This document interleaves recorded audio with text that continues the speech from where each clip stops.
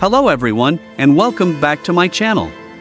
In this video, I will take you through the unboxing process of the Police 4-wheel drive remote control car, showcase its features, and provide an honest review of its performance. This Police 4-wheel drive car features a 118 scale radio control. Guys, let's start unboxing.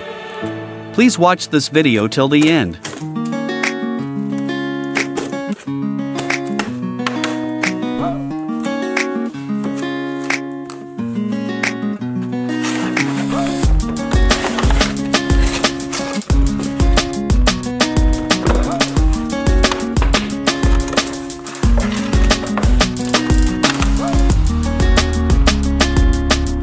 This remote control car comes with three rechargeable batteries.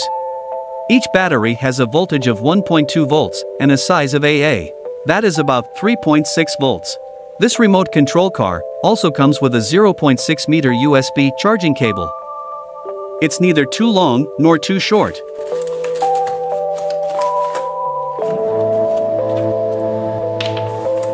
This remote control features control sticks that enable you to steer the car in any direction you desire, including right, left, forward, and backward.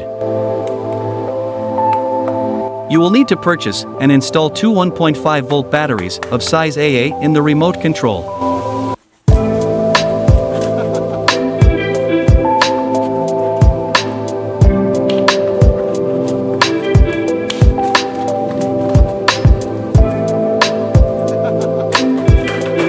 And here it is, the police four-wheel drive, remote control car. This police car does not have working emergency lights, a siren, or LED headlights. Also, this police four-wheel drive RC car does not have working LED tail lights.